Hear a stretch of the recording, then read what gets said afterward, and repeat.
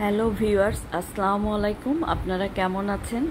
আলহামদুলিল্লাহ, আমি ভালো আছি।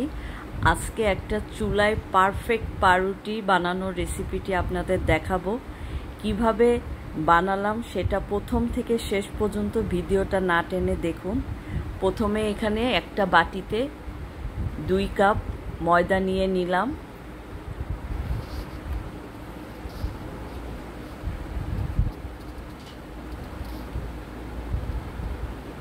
মেজারমেন্টটা ভালোভাবে লক্ষ্য করবেন।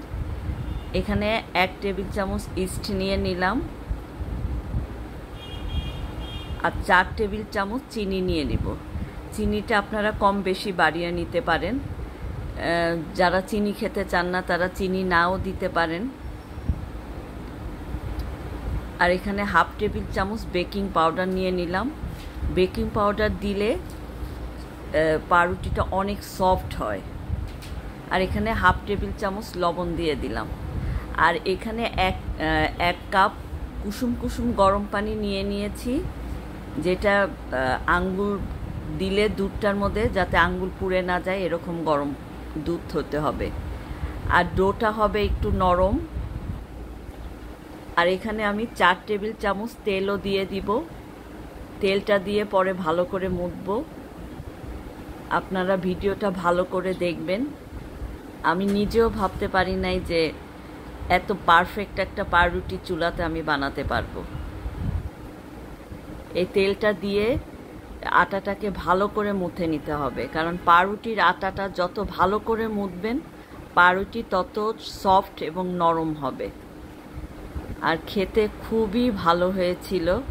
আমার বাচ্চারা খুবই পছন্দ করেছে, ওরা আর বাইরের পাউরুটি কিনেই খাবে না। আপনারা বাসায় বানিয়ে ফেলতে পারেন, আর সব সময় আমার চ্যানেলের পাশে থাকবেন আমার ভালো ভালো রেসিপি দেখার জন্য। এরকম বেকিং আইটেম আমি আপনাদের করে দেখাবো চুলাতে, আপনাদের ওভেনও ইউজ করতে হবে না, ইনশাল্লাহ। ডোটাকে খুব ভালো করে মুথে নিতে হবে।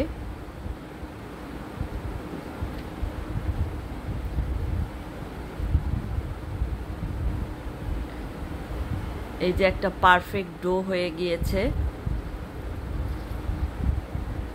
এটাকে হচ্ছে এক ঘণ্টা রেস্টের জন্য রেখে দিবেন।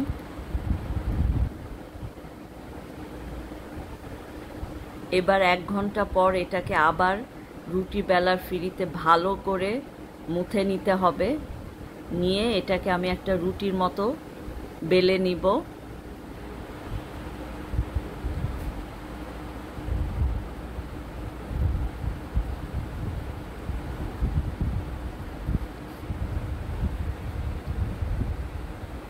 রেসিপিটা ভালো করে ফলো করবেন, তাহলে আর বাইরের থেকে পাউরুটি কিনে খেতে হবে না। ঘরেই আপনারা তৈরি করতে পারবেন ওভেন ছাড়া চুলাতে পাউরুটি।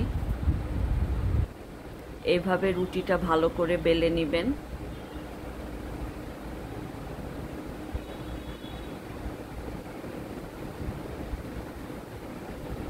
যে আমি যেভাবে বেলেছি, ঠিক এইটুকি করলেই হবে, এর থেকে বেশি বেশি না করলে হবে। সাইজটা এরকম করবেন।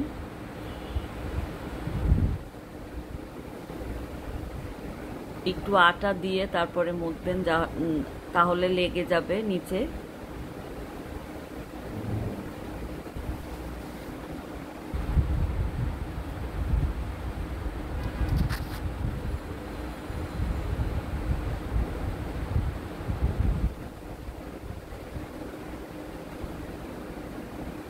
বেলে এবার এই রুটিটাকে হচ্ছে এভাবে ই করে নিতে হবে ফোল্ড করে নিতে হবে।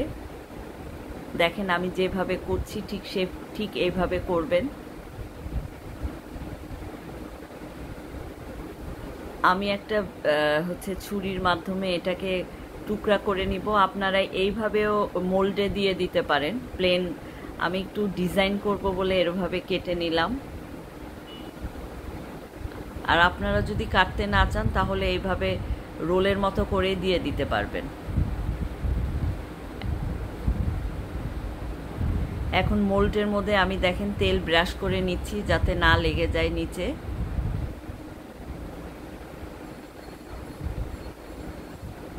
এবার দিয়ে দিলাম।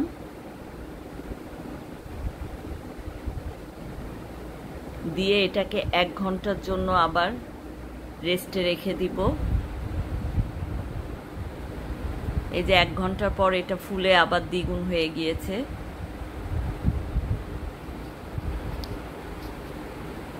এটার মধ্যে এখন আমি একটা ডিমের হলুদ অংশ আর চার টেবিল চামচ দুধ নিয়ে নিয়েছি, জাল করা ঠান্ডা দুধ। এটাকে, এই দুইটাকে একসাথে মিক্সড করে ব্রাশ করলে কালারটা অনেক সুন্দর আসে। আর চুলাতে আমি একটা সিলভারের হাঁড়ি বসিয়ে দিয়েছি ফ্রি হিট করার জন্য। চুলায় জাল দিয়ে ওইটা বসিয়ে দিয়েছি, হাঁড়িটা গরম হওয়ার জন্য।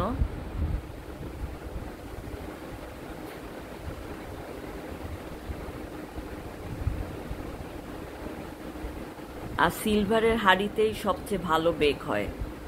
সিলভারের নন স্টিকের হাঁড়িতেও করতে পারবেন, কিন্তু উপরের ঢাকনাটা সিলভারের হতে হবে। সিলভারের ঢাকনাটা হলে সিলভারের ঢাকনার যে গরমটা, সেটা কেকের পাউরুটির উপরে পড়লে সেটা কালারটা সুন্দর আসে। এই যে এখানে আমি তিল দিয়ে দিলাম উপরে।